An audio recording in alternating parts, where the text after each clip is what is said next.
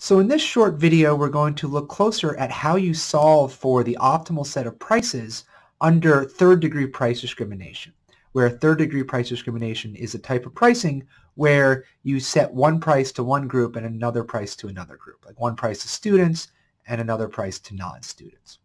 Now, solving this problem is going to be relatively simple when marginal cost is constant. I'm going to start with that case. When marginal cost is constant, solving for the optimal prices for each group is like solving for two different monopoly problems. You can kind of view it as one market for students, one for non-students. And if marginal cost is constant, then it really is like two separate markets. But let's start with one example. So suppose that we have that uh, for group 1, G1, we have that uh, the inverse demand function is given by P1 is equal to 10 minus Q1, where all these subscripts denote that this is the price and quantity for this first group. Could be students or something like that. And then for group 2, we're going to have that the inverse demand is P2, or the price that's charged to that group, uh, or that group will be willing to pay, is 20 minus 2 times the quantity that's sold to that group. Okay? And then let's also assume uh, that the cost function is given by 2 times q. So you take the derivative of that, you just get that the marginal cost is 2. Each additional unit produced uh, costs $2. Let's start by finding the optimal price that you charge for group 1. We could write that the profit uh, from group 1 is equal to price that you charge that group times the quantity you sell that group minus the cost of the quantity that you sell that group. Um, and we can plug in what price is equal to. We know that price is equal to 10 minus the quantity sold to that group. Okay, so this part here is just price.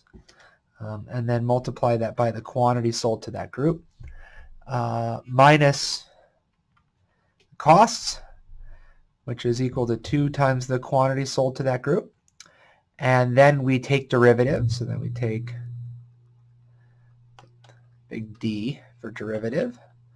Derivative of profits from group 1 with respect to the quantity sold to group 1 is going to be equal to 10 minus 2q1 minus 2. And as usual, when we're solving for these uh, profit maximization problems, we're going to set the derivative equal to 0.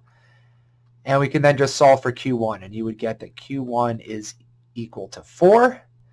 Plug that back into this uh, inverse demand function here, and we'd get that the price that you would want to charge this group uh, is equal to $6. Okay, and then we can just go through the same steps to solve for the uh, profits from group 2.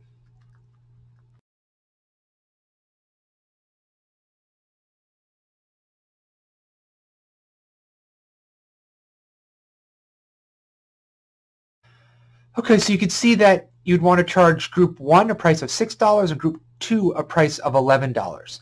And that would be the optimal third degree price discrimination strategy in this example. Okay, now let's think about what happens if marginal cost is not constant. Then the marginal cost of the last unit depends on the total number of units produced, including units sold to group 1 and units sold to group 2. Therefore, we can't just treat it as two separate problems because the costs, uh, or the two problems are interdependent because of the connection um, from the cost side. So the way we're going to solve this problem is we're going to write down the firm's total profits from two groups. And that's going to give us the function that we're trying to maximize over two variables, the quantity that's intended to be sold to group 1 and the quantity that's intended to be sold to group 2, which the quantity that's sold to a group determines the price that that group ends up paying. Um, okay, so let's um, let's consider an example, and I'll go over exactly how we solve this problem. Okay, so let's start by writing down the demand function. The demand for group 1 is equal to 16 minus the price that group 1 is charged. And the demand for group 2 is equal to 24 minus the price that it's charged. We could rearrange each of these to solve for the inverse demand function. For group 1, it's P1 is equal to 16 minus Q1, and for group 2, it's P2 is equal to 24 minus uh, Q2. Okay? And uh, let's also assume that the cost is um, function of the total amount produced. And let's suppose in this problem it's equal to the total amount produced squared. Okay, So the marginal cost does change as more units are um, produced. Okay, so with this basic setup, let's now write down the profit function for this firm. Okay, so this is the total profit earned from both groups. It's going to be equal to the price charged to group 1 times the quantity sold to group 1 plus the price charged to group 2 times the quantity sold to group 2 minus the cost function. Okay, so now we can plug in the specific values. Okay, the price for group 1, we know uh, through the inverse demand function, is equal to 16 minus uh, Q1. So that's the price. I'm going to multiply that by the quantity sold to group 1. And I can write this is, um, just to be clear, this is revenue group 1. And we're going to add to that the revenue from group 2, which is the price charge for group 2, which we know through the inverse demand function group 2 is equal to 24 minus 2Q2. That's the price times the quantity sold to group 2. And this is the revenue from group 2. And then we're going to subtract off the costs, which in this problem is just the square of the sum of the quantities sold to each group. Basically, it's a total quantity produced squared. Okay, so what is this? This is an equation that we're trying to maximize that depends on two variables, Q1 and Q2. We have a way to solve those types of problems, right? We're going to take the partial derivative with respect to each of those variables and set them equal to zero. That's going to give us two equations to help solve for the two unknowns, Q1 and Q2, to solve for the values of Q1 and Q2, which maximize this function. So let's do that. Let's write down this first uh, partial derivative to partial derivative profits with respect to Q1, and that's going to be equal to 16 minus 2 times Q1 minus 2 times Q1 plus Q2. And that's equal to 0. From the second equation, we get the partial derivative of profits with respect to Q2. Oh, no, sorry. Uh, the second equation is the partial derivative of profits with respect to Q2. Um, and that's going to be equal to 24 minus 2 times Q2 minus 2 times Q1 plus Q2. And again, that one's equal to 0. So how do we solve this? Um, we can do any method to solve these two equations for the two unknowns. Maybe a simpler way is to rearrange equation 1 to solve for Q1, and then we'll plug that into equation 2. So rearranging equation 1, we'll call it 1 prime.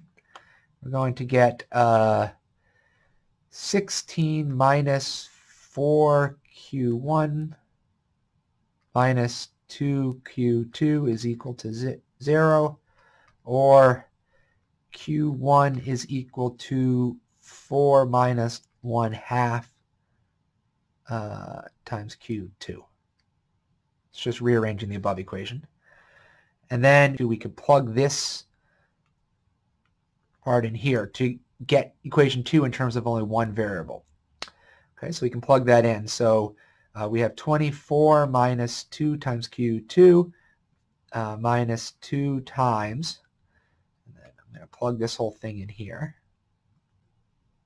4 minus 1 half times Q2. And then, so this, this first part is just this um, Q1 in the equation. We also have to add to that Q2. Okay. And that's equal to 0. And if you solve this uh, further, you would get that Q2 is equal to 16 divided by 3. which implies that um, Q1 is equal to 4 over 3. Okay, we can figure that out from this uh, equation highlighted here. And um, then we can plug it into the inverse demand functions for each group, and we can get that the price charge to group 1 is equal to 44 over 3. And the price charge for group 2 is 56 over 3. This problem was a little bit more complicated when the marginal cost was not constant. In that case, we could not just treat it as two separate markets. So we wrote down the entire profit function, specifically including the revenue earned from group 1, the revenue earned from group 2, and the cost function.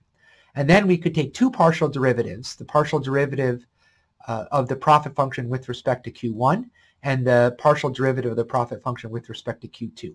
That gives us two equations to help us solve for the two unknowns, the values of Q1 and Q2, which jointly maximize the profit function. Um, and then once we find those quantities, we can plug them back into the inverse demand function for group 1 and 2 respectively to figure out the optimal prices that the firm would want to charge each group under third degree price discrimination. The last thing that I wanted to do is to look back at some of these equations and help draw some intuition from them. So I want to go back here and I want to specifically start by focusing on the part circled here. Okay. Notice that this is the marginal revenue from group 1. If you take the revenue from group 1 and take the derivative, you get what is circled in blue here. So this first equation here is saying that marginal revenue minus the second part which is just equal to marginal cost, is equal to zero. Now notice this is the total marginal cost incorporating the number of units sold to group 1 and to group 2. Likewise, if you look at this second equation, this first circled part is the marginal revenue from group 2. It's just the derivative of this part of the profit equation, which was the revenue from group 2. And we find that the marginal revenue from group 2 minus the second part, or marginal cost, is equal to zero.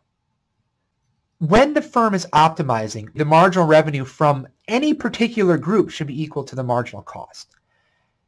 And the logic for this is that if the marginal revenue from a group, that's the marginal revenue earned from the last unit sold, is less than the marginal cost of the last unit sold, then the firm is losing money by selling that last unit to that group. And so they should reduce the amount that they sell to that group and raise the price. Okay? This also implies that the marginal revenues for one group are, is equal to the marginal revenue from the other group.